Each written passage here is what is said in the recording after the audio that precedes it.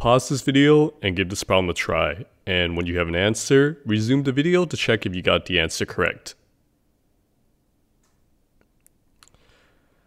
In this problem, we're given the reaction y becomes z. We're also given a table that contains the equilibrium concentrations of y and z and the equilibrium, the, sorry, the initial and the equilibrium concentrations of y and z. And we're told that the experiment's goal is to determine the equilibrium constant. Then we're told that a, a second experiment is ran in which the equilibrium concentration of z is 1 and it's asking which, which of the statements is true, indicating the proper concentration of y at equilibrium in this second experiment. So we're trying to determine the equilibrium constant, Kc, and we should know that Kc is concentration of products over concentration of reactants. So this, in this case, would be concentration Z divided by the concentration of Y. These both have a coefficient of 1, so they're both just raised to the power 1.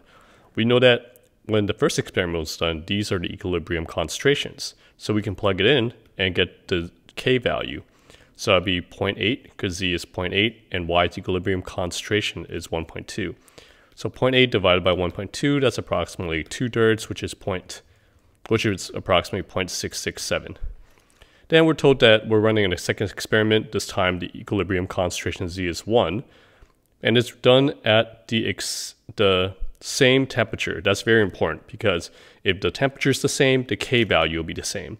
So we can just copy and paste this, change the point, the Kc into 0.667, the same Kc as the previous experiment because the temperature is the same. We know that the equilibrium concentration in Z is 1, so change that to 1. And then we would just do algebra to solve for y. So then that means that y is equal to 1 divided by 0.667, plug that to your calculator, and that's 1.5.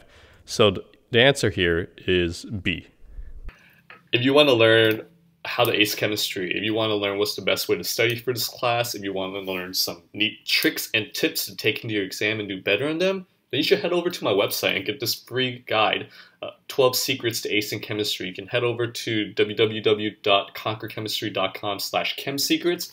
I'm going to include a link in the description below. Check it out. I think it's really going to help you and you're going to you're going to like it. Until next time, keep working hard and continue the good work.